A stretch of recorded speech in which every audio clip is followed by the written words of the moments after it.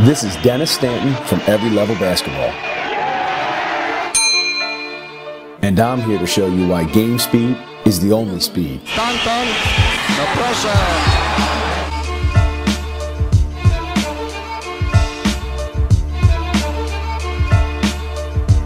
Dennis Stanton, 7,5 metrów chyba. Stanton. Wcale nie.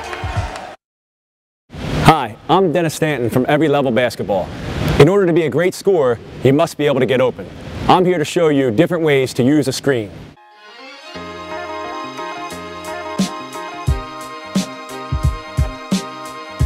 The most frequent usage of a screen is when a defender gets caught on the screen.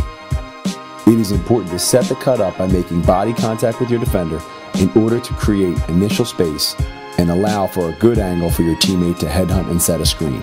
Notice how the defender gets caught on the screen. In this case, you would continue on the same path as quickly as possible in order to get an open shot on the wing.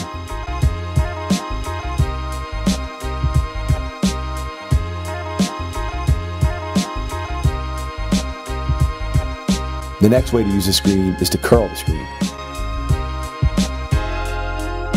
It is very important to set your defender up and make contact before running off the screen.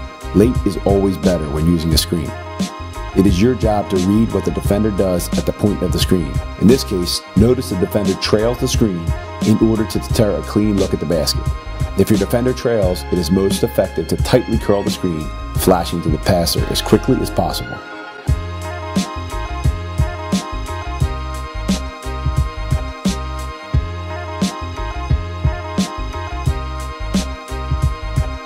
Lastly, if your defender cuts up the middle or runs on top of the screen, the best way to get space for a shot is to fade. In this example, the defender cuts up the middle, forcing the offensive player to fade to the corner. Even though your momentum is forcing you away from your target on the cut, it is important to step back towards the rim to create positive energy towards your target. Notice the footwork as it is best to step with our inside foot to fake that you are using the screen.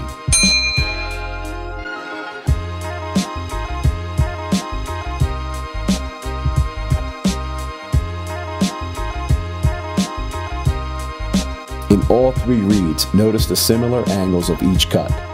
The best basketball players play in straight lines. If you want to get open using screens, you must cut in hard straight lines.